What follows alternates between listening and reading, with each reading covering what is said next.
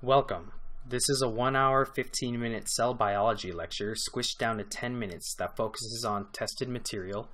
And in this third lecture, we cover the basics of the cytoskeleton.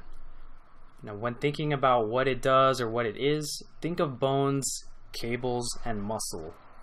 Bones in terms of structure and support, uh, cables for intracellular transport, and spatial organization and muscle for contractility and motility. Now these are fluorescent antibody uh, images of microfilaments here, microtubules here, and intermediate filaments here. Notice that the microfilaments are mostly on the outside of the cell or close to the outside. Microtubules are, they converge in the center and intermediate filaments are just random and all over the place. Microfilaments are flexible and helical, which means that they're like strands of a rope woven together like a braid. They are the smallest fibers. Microtubules are the largest fibers, and they're like stiff, hollow tubes. Intermediate filaments are like tough ropes, and they are of medium size.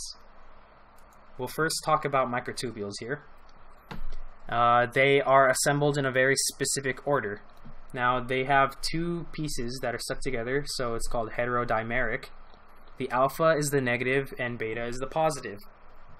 Why they chose these specific symbols uh, is probably random, but it gets assembled by this green part right here is the part that wants a microtubule.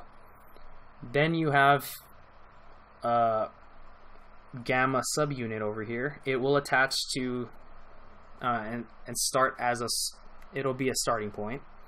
The alpha subunit will attach to the gamma and the beta sticks out. Now the beta is known for its GTPase activity, which means it hydrolyzes the energy molecule GTP, guanosine triphosphate, and they will start building one on top of each other from alpha to beta, alpha to beta, alpha to beta, alpha to beta, and it zips up like this. So uh, you can look up other videos for you know specifics if it's hard to imagine, but it's it's just basic.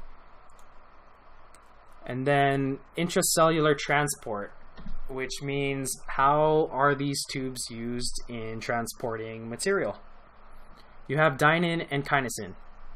The dynein will go toward the center of the cell or the centrosome in the negative direction, remember, toward the alpha subunit, which is, you know, the first one that attaches. And kinesin will go to the plus end, which is the beta subunit, or in the direction that the tubule is getting assembled. So dynein hops doing power strokes. So these pieces here, or this will flex this way, like that, and it'll hop like a rabbit over here, you would say that it's retrograde transport or inward. And kinesin walks like a model on the catwalk, uh, one foot in front of the other, and it'll go in the anterograde direction. Now the centrosome is the center of where um, you might have seen those two things that look like churro pieces at 90 degree angles of each other in a cell. Looks like this. This is where the microtubules come from. The microtubule organization center is where two of these meet, you know, 90 degrees from each other. And they're surrounded by this pericentriolar material, which is believed to be the source of where those alpha and beta subunits come from so you could say it's the source. And microtubule associated proteins are these little proteins that attach to the side of the tube and they make sure that things get zipped up the right way. Uh, that's the best way to think about it. And that's really all. Um, most teachers will not test you in greater depth than this. So we move on to the intermediate filaments. You have these strands, typically of keratin, which is stuff in your hair, your skin, your fingernails, and you have monomers, dimers, tetramers. So like notice that the monomer is just a single strand. Dimers are spun together. And tetramers are where these dimers start grouping, and then you just have a lot more of these strands. Um, they are for resisting getting stretched or uh, tensile forces. They're like ropes. They're found in desmosomes and hemidesmosomes, which are like the velcro of cells. Uh, cells need to stay attached to each other or to their environments. They probably don't want to be floating around in your blood. So you have let's let's say this is a cell or some membrane. You'll have these intermediate filaments extending into a basement membrane or into another cell you know with its own intermediate filaments and they're just attached to each other like velcro. This is uh, the most boring of the three. Now we move to microfilaments which have the most um, information and testable material. Microfilaments are mostly uh, known for motility in muscles, sperm.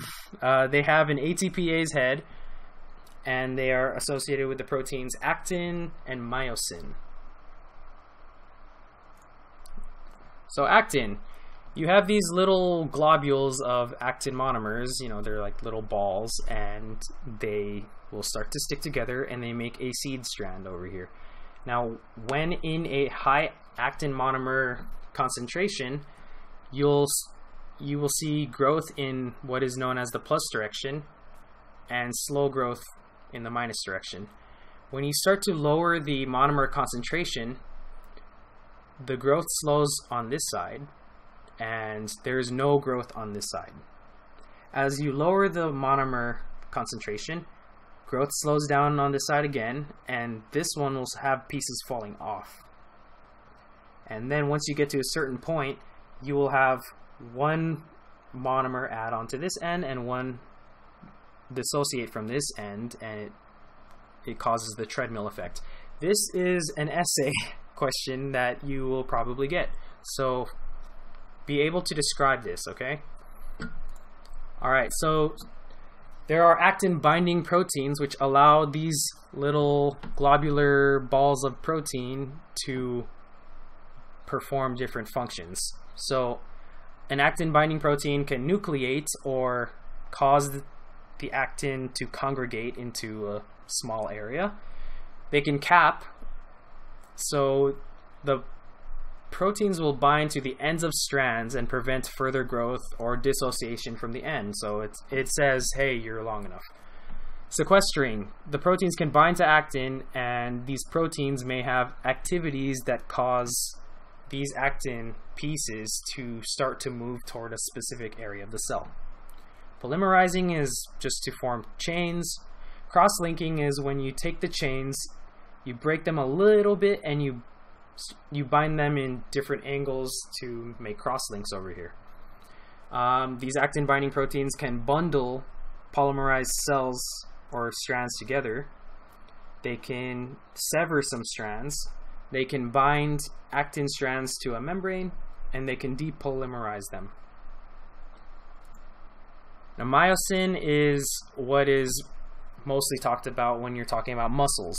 So, there's type 2 myosin, which are bipolar filaments, meaning tail to tail, and they do power strokes much like dynein, but uh, they use ATP, not GTP, and um, they just pull they pull on both ends and um, since this is not an exercise science class you probably will not be tested too much on muscles.